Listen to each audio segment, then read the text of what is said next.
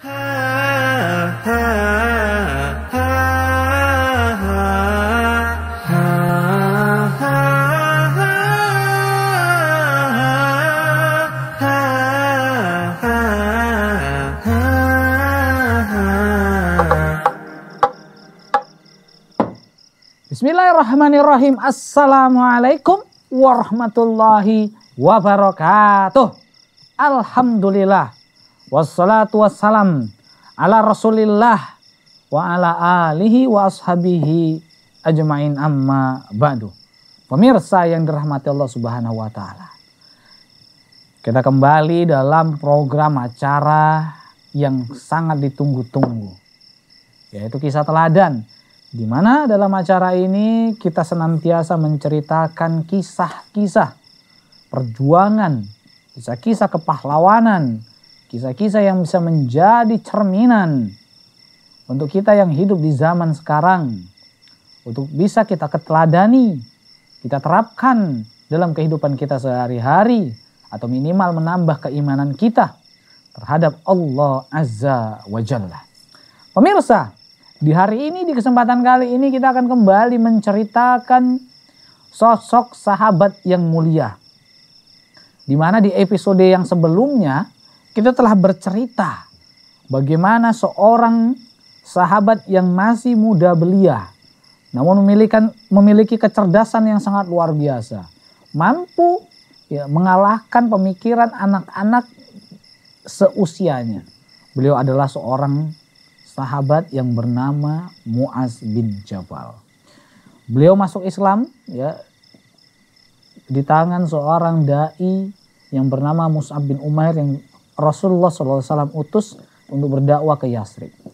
Kemudian dia mengajak orang-orang ya untuk masuk ke dalam agama Islam dan tanpa kecuali Muaz bin Jabal pun ikut dalam seruan tersebut. Nah pemirsa, Muaz bin Jabal masuk Islam dia tidak hanya tinggal diam, melainkan juga beliau ya, mencoba untuk mengajak orang-orang di sekelilingnya untuk masuk ke dalam agama Allah Subhanahu wa taala yang telah diridhoinya, yaitu Islam.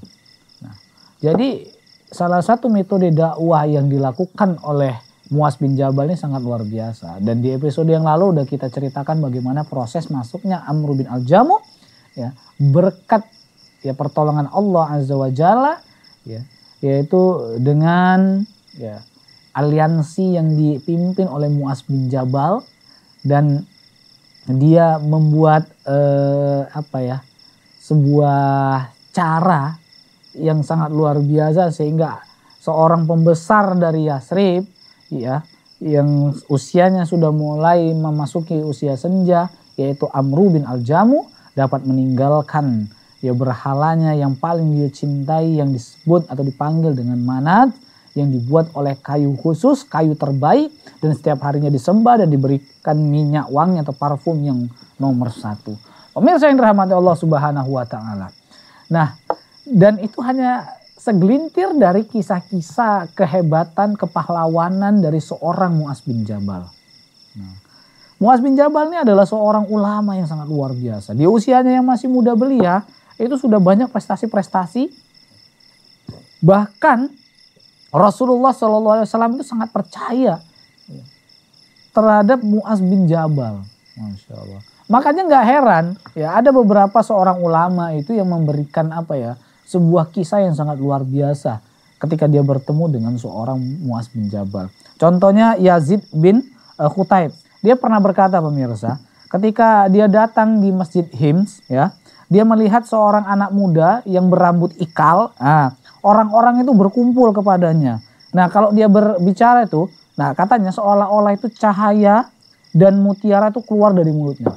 Pas ngomong dia, gitu aja. Itu seakan-akan kayak mulutnya bercahaya gitu. Ya, orang memperhatikan. Dan yang keluar dari mulutnya itu bukan hal-hal yang gak penting. Melainkan orang itu seperti nungguin mutiara keluar dari mulutnya. Masya Allah. Itu Muaz bin Jabal. Maka ketika itu Yazid bertanya-tanya kepada orang-orang. Siapa pemuda itu? Kok kayak gitu kali dia? Maka orang-orang tersebut mengatakan. Oh itu adalah Muaz bin Jabal. Masya Allah. Hebat nggak? Hebat lah. Mu'az bin Jabal. Uh. Itu dari perkataan Yazid bin uh, Khutaib. Ada juga ya seorang uh, tabiin ya uh, yaitu yang dipanggil dengan Abu Muslim al Khawlani. Beliau ini adalah seorang salah seorang tabiin besar dari Yaman ya. Dia pun berkata, ya, aku datang ke masjid di daerah Damaskus katanya. Nah, dan dia melihat ada sebuah halakoh.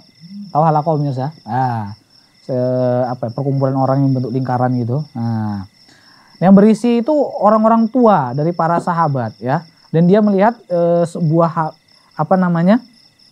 Di antara mereka itu ada seorang pemuda ya yang memiliki mata berwarna sedikit kecoklatan. Nah dan senyumannya itu yang sangat menawan. Masya Allah. Dan setiap kali mereka berselisih dalam sebuah masalah mereka pasti akan mengembalikan perselisihannya tersebut meminta pendapat terhadap seorang pemuda tadi yang bermata kecoklatan tadi. Ya. Dan dia pun penasaran gitu loh. Lah lah sopo iki bocah iki loh pemuda ini siapa nih kok orang-orang padahal itu tua-tua itu itu termasuk sahabat-sahabatnya Nabi Shallallahu Alaihi Wasallam loh gitu terus kalau ada perselisihan kok ditanyanya lagi sama pemuda itu gitu maka orang-orang pun berkata, oh itu bukan laki-laki sembarangan. Itu adalah Mu'az bin Jabal. Luar biasa nih biasa. Wong-wong tua dari para sahabat-sahabat Nabi aja, itu kalau ada perselisihan, itu pasti akan bertanya dan meminta pendapat dari seorang Mu'az bin Jabal. Nah, makanya nggak aneh. Ya. Kenapa? Karena Mu'az bin Jabal itu adalah ya orang yang bisa dikatakan lulusan madrasahnya Rasulullah. Dia langsung belajar kepada Rasulullah, langsung dari sumbernya. Nah, nah, Rasulullah sendirilah ya yang memberikan sebuah cap, memberikan sebuah tazkiyah kepada seorang Muaz bin Jabal. Apa kata Rasulullah SAW? Rasulullah mengatakan ya kepada para sahabatnya, terkait dengan Mu'az bin Jabal.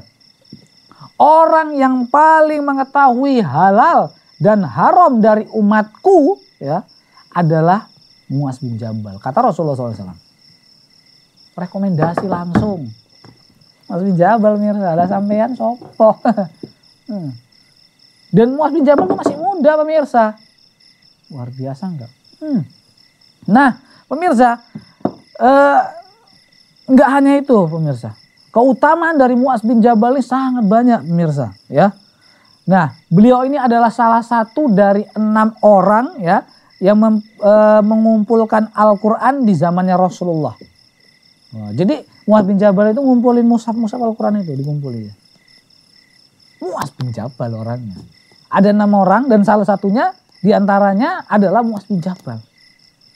Nah, oleh sebab itu nih pemirsa, manakala para sahabat ya e, berbicara lalu di antara mereka ada Muaz bin Jabal mereka akan memandang Muaz bin Jabal. Maksudnya apa? Ini mereka ngomong-ngomong gitu kan. Oh ya gini gini oh gini gini. Tapi nggak lepas dari pendapatnya Muaz bin Jabal. Wahai Muaz iya lo pendapatmu oh Padahal ketika itu Muaz bin Jabal itu usianya itu nggak setua mereka, masih muda, masih ganteng. Nah. Nah pemirsa yang dirahmati Allah Subhanahu Wa Taala banyak lagi kisah-kisah tentang Muaz bin Jabal. Banyak lagi keutamaan-keutamaan dari Muaz bin Jabal. Insya Allah kita akan ceritakan lagi setelah jeda yang mau lewat berikut ini. Jangan ke mana-mana.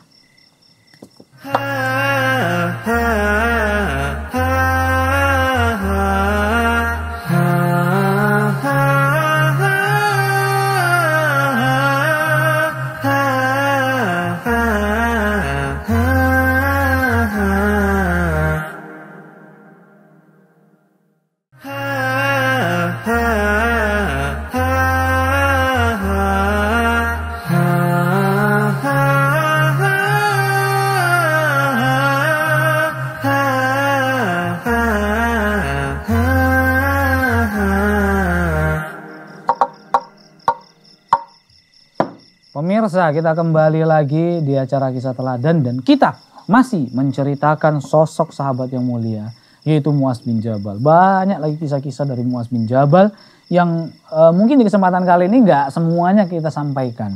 Ya. Karena memang Kalau kita cerita Muas bin Jabal itu nggak jauh dari yang namanya uh, ilmu gitu. Masya Allah. Beliau ini termasuk orang yang sangat luar biasa pemirsa. Beliau ada seorang dai yang siap diutus ke mana saja, kapan saja dan gak usah ditanya dia nggak berharap gaji. Masya Allah. Banyak kisah-kisah yang menarik terkait uh, terkait dengan Muas bin Jabal. Di usianya masih muda dia telah dipilih oleh Rasulullah SAW, dipercaya oleh Rasulullah SAW. Nah pemirsa, uh, pada saat pada saat Fathul Makkah ya. Pada saat Fathul Makkah, jadi kota Makkah ketika itu telah dibuka oleh Rasulullah SAW ya. Dan orang-orang pun uh, berbondong-bondong untuk masuk ke dalam agama Islam ketika itu. Artinya apa? Ketika mereka masuk Islam, maka seketika mereka kan belum tahu apa-apa ya kan. Nah, apalagi Rasulullah ketika itu pas pulang kampung, dia bakalan balik ke Madinah, nggak menetap di Mekah. Maka mereka butuh seseorang yang membimbing mereka, memahamkan mereka tentang Al-Quran, mengajari mereka tentang Islam. Maka mereka butuh seorang da'i, seorang guru yang siap untuk mengajarkan mereka.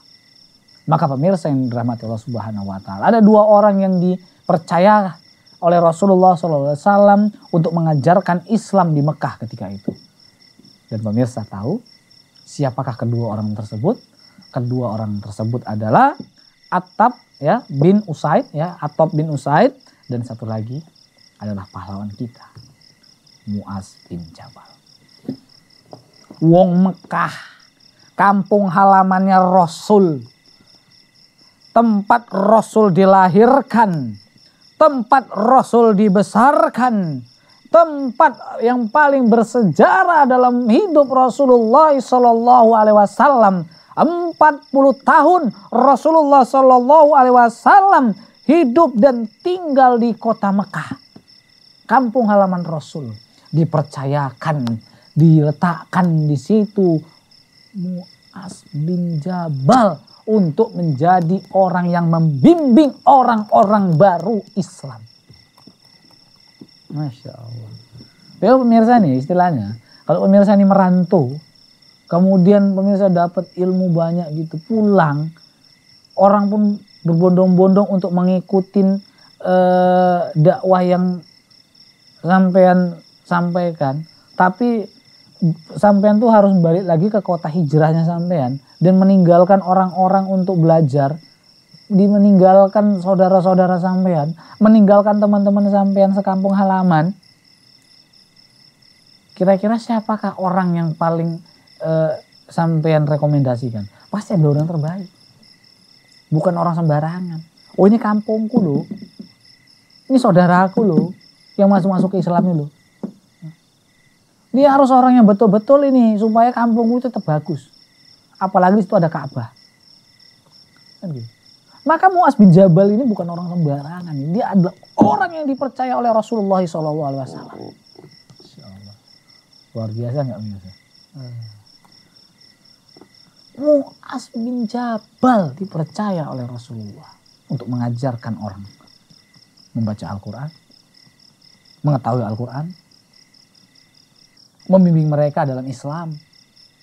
Dan kita tahu orang Mekah itu dulu sangat memusuhi Rasulullah. Kita tahu orang Mekah lah dulu yang memerangi Rasulullah. Kita tahu orang Mekah lah ya ketika dalam perang membunuh sahabat-sahabat Rasulullah ketika di perang Uhud. Dan hari itu mereka berbondong-bondong masuk dalam agama Islam. Tidak ada dendam di hati Rasulullah. Bahkan mereka mengutus ataupun Rasulullah mengutus seseorang untuk mengajarkan mereka ya tentang Islam adalah orang terbaik yaitu Muaz bin Jabal. Luar biasa enggak tuh? Masya Allah. Nah pemirsa yang dirahmati Allah subhanahu wa ta'ala. Gak hanya itu aja nih pemirsa. Ya. Ketika Muaz bin Jabal telah selesai ya mengajarkan orang-orang dalam uh, Islam di Mekah, kemudian pernah suatu ketika ya, ketika manakala para utusan raja-raja dari Yaman yang datang kepada Rasulullah SAW dan mengumumkan keislamannya ya, dan mereka e, meminta kepada Rasulullah untuk mengirimkan orang-orang yang bisa mendidik masyarakat Yaman di atas agama Allah Azza wa Jalla. Maka beliau membentuk ya sebuah kelompok untuk mengemban amanah yang besar ini ya. Ketika itu raja-raja Yaman tuh Yaman tuh banyak raja-rajanya tuh. Ya mereka telah bersepakat untuk masuk Islam. Dan mereka meminta kepada Rasulullah agar mengutus orang-orang ya datang ke Yaman untuk mengajarkan Islam ke Yaman untuk mengajarkan orang-orang yang baru masuk Islam ke dari orang Yaman maka dibuatlah sebuah kelompok ya para sahabat-sahabat Nabi Shallallahu Alaihi Wasallam dan pemirsa. Antum bisa tebak siapakah yang menjadi pemimpin kelompok tersebut. Benar. Muaz bin Jabal. Muaz bin Jabal menjadi ketua kelompok ketika itu pemirsa yang rahmati Allah Subhanahu wa taala. Dan pemirsa tahu bagaimana ya suasana haru pelepasan dai-dai yang bakalan dikirim oleh Rasulullah SAW ke Yaman pemirsa. Apa kata Rasulullah SAW ya ketika dia keluar untuk mengantarkan uh, delegasi hidayah dan cahaya ini beliau berjalan di bawah kendaraan Muaz sedangkan Muaz bin Jabal berada di atas punggung kendaraannya dan Rasulullah SAW berjalan di bawah unta ya atau di bawah kendaraan dari Muaz bin Jabal ya mengiringi delegasi yang akan diutus menuju Yaman. Kemudian pemirsa yang dirahmati Allah Subhanahu wa taala ya. Nabi pun berwasiat kepada Muaz bin Jabal. Wahai Muaz, Mungkin kamu tidak akan bertemu denganku lagi setelah tahun ini. Mungkin kamu akan melewati masjid dan kuburku. Maka Mu'az menangis sedih. Sedih berpisah dengan Rasulullah SAW. Kekasihnya dan nabinya. Kaum muslimin juga ikut menangis bersamanya. Pemirsa yang rahmati Allah Subhanahu wa Ta'ala. Dan kenabian itu nggak pernah salah. Benar setelah setahun tersebut ketika Mu'az bin Jabal pulang dari Yaman. Dia tidak pernah berjumpa kembali dengan Rasulullah SAW. Karena Rasulullah SAW telah meninggal dunia, menyisahkan kuburnya, menyisahkan masjidnya, menyisahkan kisah-kisah indah bersama Muaz bin Jabal. Pemirsa yang dirahmati Allah Subhanahu wa taala. Masih ada lagi kisah dari Muaz bin Jabal. Insya Allah nanti akan kita ceritakan lagi setelah jeda yang mulai berikut.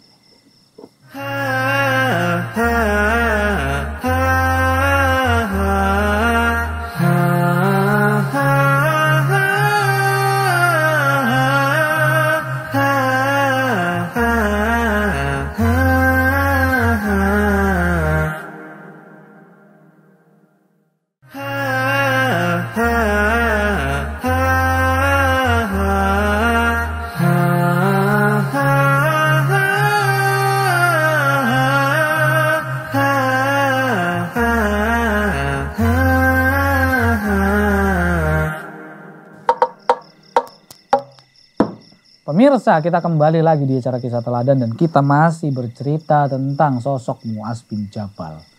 Dan sekarang kita beranjak kisah Muaz bin Jabal ini di masa kekhalifahan Umar bin Khattab. Nah, pemirsa yang rahmati Allah Subhanahu wa taala. Umar bin Khattab ini ya adalah khalifah ya eh, khulaf, termasuk salah satu khulafah Rasidin, khalifah kedua setelah Abu Bakar As-Siddiq. Nah, pemirsa yang rahmati Allah, ada kisah menarik. Di antara kisah-kisah dari Muaz bin Jabal. Nah, manakala Umar bin Al-Khattab memegang uh, apa namanya tongkat kekhalifahan, dia mengutus Muaz bin Jabal ya ke Bani Kilab untuk membagikan jatah ya pemberian mereka, yaitu mendistribusikan zakat untuk or, dari orang-orang kaya ke orang-orang miskin. Nah, maka Muaz menunaikan tugasnya ya yang dibebankan olehnya. Dia pun setelah selesai, dia pun pulang dia ke rumahnya dan uh, dia membawa apa namanya itu ya uh, penutup pelana. Nah pelana tunggangannya cuma bawa itu. Dan diikat nih pemirsa ya di lehernya diseliwerkan gitu aja gini.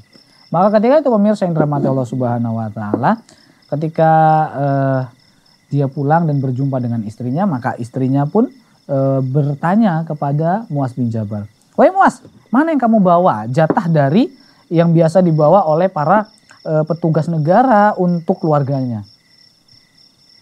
Biasa itu kan kalau namanya petugas negara ya kan pejabat. Ya kalau udah habis tugas biasanya dapat ya salam tempel atau minimalnya jatah yang apalah yang bagi-bagiin lah kan gitu kan. Maka istrinya bertanya, jatah mana? Gitu loh. Ya, biasa kalau namanya pejabat itu ya pasti bawa gitu. Apalagi dia siap kerja gitu lembur capek ya. Pasti dapat jatah kan gitu. Diminta sama istrinya. Maka pemirsa yang rahmat Allah subhanahu wa Muas menjawab oh payah katanya. Aku nggak punya nggak bisa oh, Amir Mukminin itu mengirimkan pengawas ya. dia selalu hadir untuk mengawasiku kayak gitu atau dia mengatakan aku mempunyai seorang pengawas dia senantiasa hadir untuk mengawasi, mengawasi kerjaanku. Nah gitu nih pemirsa rahmatullah subhanahu wa. Jadi istrinya pun berkata, eh Muaz bin Jabal. Ya, di zaman Rasulullah itu engkau adalah orang yang terpercaya loh. Begitu juga di zaman Abu Bakar As-Siddiq. Masa di zaman Umar bin Khattab dia mengirimkan pengawas untukmu, ya, untuk mengawasi gerak-gerikmu. Padahal dulu Rasulullah percaya sama kamu, Padahal dulu Abu Bakar juga percaya sama kamu. Masa di zamannya Umar Umar mengirim utusan? Muasanya diam. Nah pemirsa yang dirahmati Allah Subhanahu Wa Taala, ya namanya juga emak-emak. Akhirnya pun dia cerita-cerita, ceritalah dia sama istri Umar bin Khattab. Um, istri Umar bin Khattab menyampaikan apa yang dikatakan oleh istri dari Muas bin Jabal. Uh, Umar pun, eh masa iya sih gitu kan? percaya aku, ku panggil dulu Muaz bin Jabal nih. Mas, akhir perasaan aku nggak ada ngirim pengawas untuk Muaz bin Jabal lah. Panggil Muaz. Oh, akhirnya dipanggil lah Muaz bin Jabal. Eh, dihadapkan di hadapan Amirul Mukminin Umar bin Khattab. Apa kata Umar bin Khattab? Eh, Muaz, benernya istriku bilang istrimu cerita sama istriku. Kau bilang katanya aku mengirimkanmu seorang pengawas untuk mengawasi kerjaanmu. Ada kok emang yang ngirimkan pengawas. Apa kata Muaz bin Jabal? Gak ada. Terus kenapa kamu bilang sama istrimu aku ada mengirimkan uh, pengawas? Ya biar istriku diam aja katanya. Dia nggak mau ribut sama istrinya pemirsa. Muaz bin Jabal orangnya apa ya? Gak mau nerima harta gono gini gitu-gitu.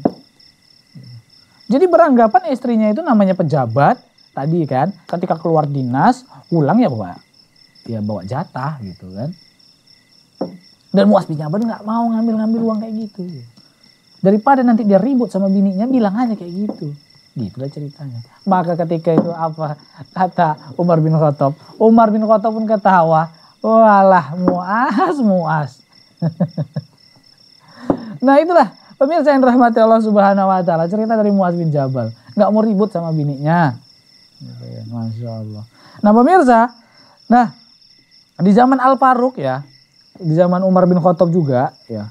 Jadi eh, Gubernur Syams yaitu Yazid bin Abu Sufyan itu mengirimkan surat kepada Amirul Mukminin. Nah, dalam surat tersebut Yazid itu berkata, sesungguhnya jumlah eh, penduduk Syams itu meningkat pesat. Ya. Mereka telah memenuhi e, pelosok negeri-negeri Syams katanya dan sangat memerlukan orang-orang yang akan mengajarkan Al-Quran, mengajarkan agama, mengajarkan kitab Allah, mengajarkan agama Islam kepada mereka. Maka kirimlah beberapa orang dai untuk mengajarkan mereka. Jadi permintaan Yazid bin Abi Sofyan itu untuk uh, Amirul Mukminin mengirimkan seorang guru ke sana.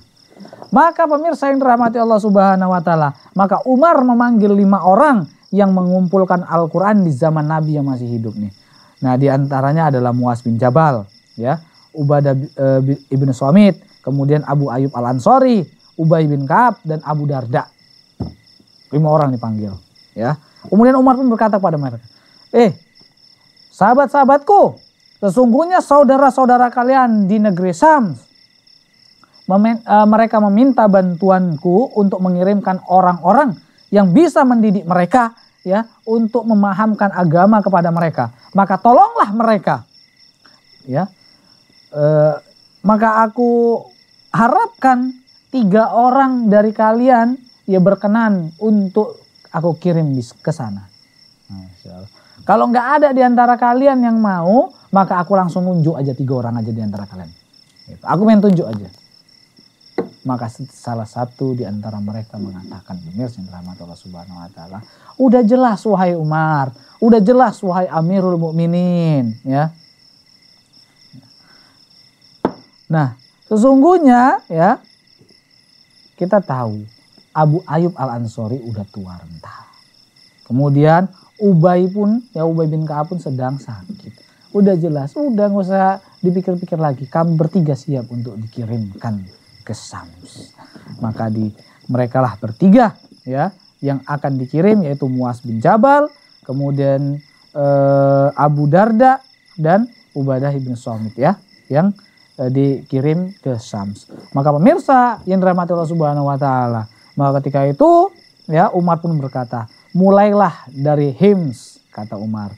"Jika kalian sudah menerima keadaan penduduknya, maka tinggalkanlah salah seorang di antara kalian di sana. Lalu orang kedua dari kalian berangkat ke Damaskus dan yang ketiga berangkat ke Palestina. Nah, pemirsa yang dirahmati Allah Subhanahu wa taala, tiga sahabat mulia ini pun tinggal di Hims seperti yang diperintahkan oleh Amirul Mukminin ya.